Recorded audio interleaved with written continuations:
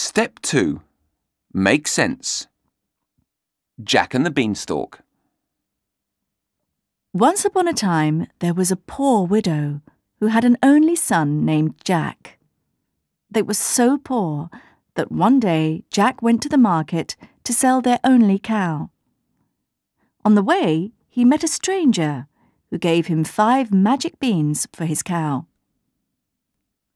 His mother was so angry when she saw the beans that she threw them out of the window.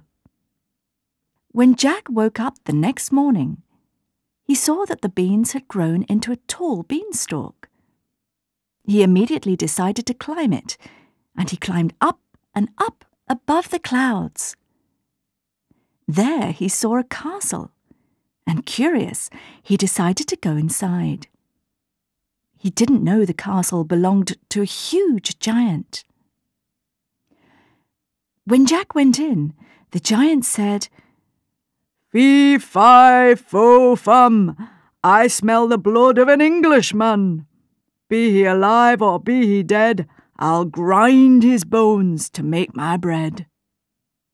However, Jack was saved by the giant's wife, and he escaped from the palace, taking a bag of gold coins with him. A few days later, Jack climbed up the beanstalk again.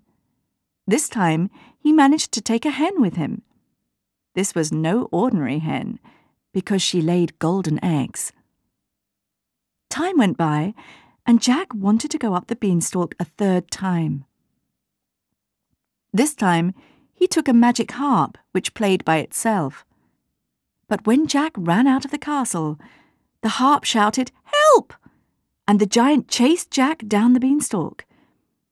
Fortunately, Jack managed to get to the ground before the giant did, and taking an axe which was on the ground, chopped the beanstalk down. The giant fell to the earth and fled, never to be seen again.